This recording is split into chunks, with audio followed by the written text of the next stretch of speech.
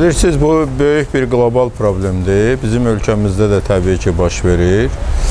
Bu e, qloballaşmanın belə sürətlə e, getdiyi bir dövrdə bəzi ölkələrdə e, bu prosesə e, reaksiyaların, bu prosesə hazırlığın arzu olunan səviyyədə olmaması ilə bağlıdır. Çünki qloballaşma bir təbii tarixi prosesdir. Təbii ki, qloballaşmaya subyektiv müdaxilələr var, amma hər bir ölkənin xüsusiyyətinə asılı olaraq orada müəyyən cür əks-sədası olur. E, və bu intihar dediyimiz e, məsələlər və başqa zorakılıq məsələləri, bunların hamısını ümumiləşdirəndə bu bir davranışdır. Yəni insanların davranışıdır və elmdə, sosial psixologiyada kifayət qədər əsaslandırılıb ki, hər bir davranışın formalaşmasına 3 amil daha güclü təsir eləyir. 1. Mühit, 2. Aldığı informasiyalar, 3. Üstünlük verdiyi dəyərlər insanın.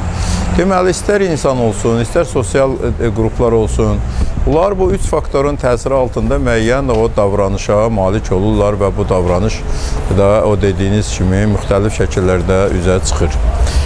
Əvvəla, ə, e, bax, ə, e, bu ə, mühitin özündə bir gərginlik var. Cəmiyyətdə gərginlik var. Bu da ə, deməli həmin dediyimiz qloballaşma prosesi getdikcə e, istənilən sosial sistem, istənilən cəmiyyət daha da mürəkkəbləşir. Daha da mürəkkəbləşən cəmiyyətdə biz e, ona tam hazır olmadığımız e, halda e, mürəkkəblik daha çox yaranır. Və bu ona bənzədin ki, birdən e, yağış yağır ya böyük çoxlu qar yağır Bakı şəhərinə Əgər infrastruktur ona hazır deyilsə, küçədə sellər, e, sular daha çox olur və xoşa gəlməz e, vəziyyətlər, maşın sürüşmələri daha çox olur.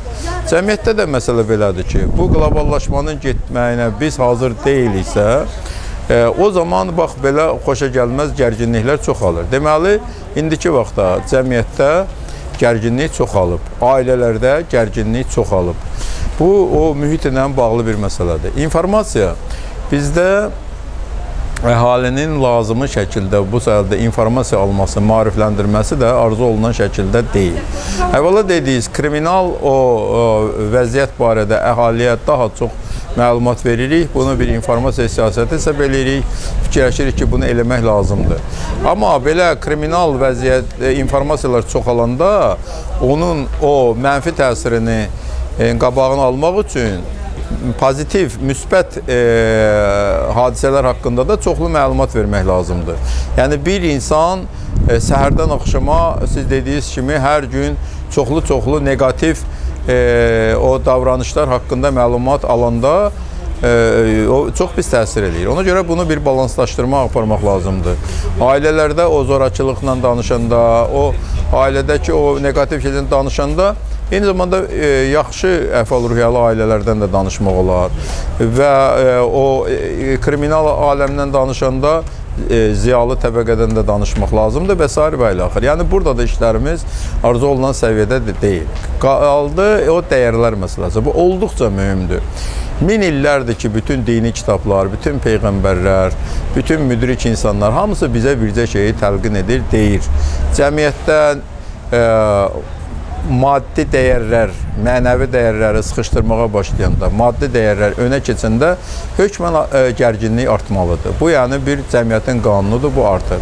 Amma mənəvi dəyərlər önə keçəndə, mənəvi dəyərlər e, cəmiyyətdə daha öncül rolunda cəmiyyət özü özünü o ahəngə doğru tənzimləyir. Cəmiyyətdə daha çox ahəng yaranır. Bax görürsüz, mən bu üç amili danışdım.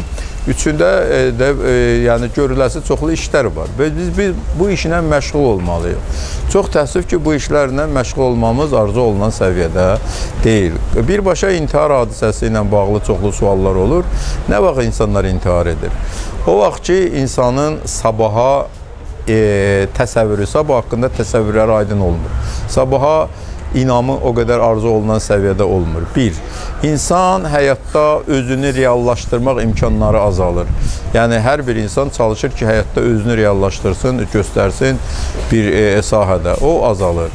Və o biri tərəfdən də dediyimiz həmən bu dəyərlər barədə fikirlər dəyişəndə bunların da yekunu olaraq e, bu intihar hadisəsi baş verir. Onun kimi də o ailə zəmində zorakılıq və s. və ilə axır. Yəni bunların hamısını elmi təhlil etmək mümkündür. Elmi təhlil baxımından aydındır nə baş verir. Amma çox təəssüf ki, dedim, bunlar üçün ciddi fəaliyyət proqramları hazırlanmalıdır, həyata keçirilməlidir. Bu barədə də mən nə qədər deyəndə ki, buna elmi təminat lazımdır, elə bilirlər ki, mən demək istəyirəm ki, mən burada e, yəni vacib bir mütəxəssisim. Əstəğfurullah, mən onu demək istəmirəm. Mən olmayan başqası məşğul olsun. Amma bununla elmi şəkildə məşğul olmaq lazımdır. Bu şəkilləri elmi əsaslarla təhlil edib fəaliyyət proqramları hazırlanmalıdır. Bax, bütün bilmirəm sualınıza nə dərəcədə cavab verdim, yoxsa yox.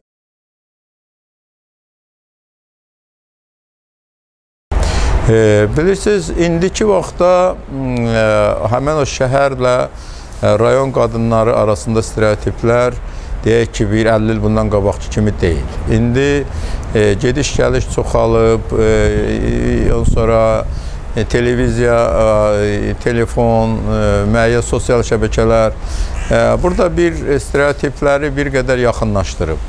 Amma hər halda yenə də bu stereotiplər var. Bunları e, yəni aradan götürmək deyəndə elə e, necə gəldi aradan götürmək düzgün deyil. Gərək biz baxaq görək hansı kimdə nə yaxşıdır. Bəlkə o, rayonlu qadının e, stereotipində əxlaq mənəvi cəhətdən daha yaxşı bir tərəf var və yaxud əksinə şəhər qadınında bu daha yaxşıdır. Yəni bunların hamısı da hökmən elmi təhlil tələb eləyir. Bu stereotiplərin hansında nə yaxşıdır, hansı mentalitet olaraq dəyişmək ə, olar, lazımdır. Bax bütün bu teleseriallar ki, gündə belə çoxalır. Mənə elə gəlir ki, teleserial yaradanlar hələ bu günə qədər teleserial fəlsəfəsini yaxşı bilmir. Teleserial elə ona ə, görə düşünülübdür ki, ölkədə lazım olan mentalitetdə, stereotiplərdə arzu olunmayan tərəfləri ortadan götürməyə, arzu olunan bir variantın yaranmasına kömək eləsin. Yəni bunu 60, 70, 100 seriya ona görə göstərirlər ki, gündə bir qədər psixoloji olaraq bu məsələlərə təsir eləsinlər, informasiya təminatı olsun və dəyərlərdə təsir olsun o dediyim üç amilin içində də və e, həmən dəyişiklik baş versin. Ona görə bu gün e, yəni sadəcə bir müsahibə verəndə nəyi e, aradan götürmək, nəyi eyniləşdirmək, demək biraz mümkün olmaz. İntihar faktlarını araşdırmaq üçün mərkəzə ehtiyac var. İntihar faktlarını araşdırmaq üçün elmi mərkəzə çox güclü ehtiyac var. Çünki bu şeylər elmi təhlil olunmadan o icraçı orqanlar, yəni hüquqi ə, mühafizə orqanları, başqa orqanlar bunları lazımi şəkildə e, həll edə bilməzlər. Bunun üçün hökmən və hökmən elmi təminat lazımdır.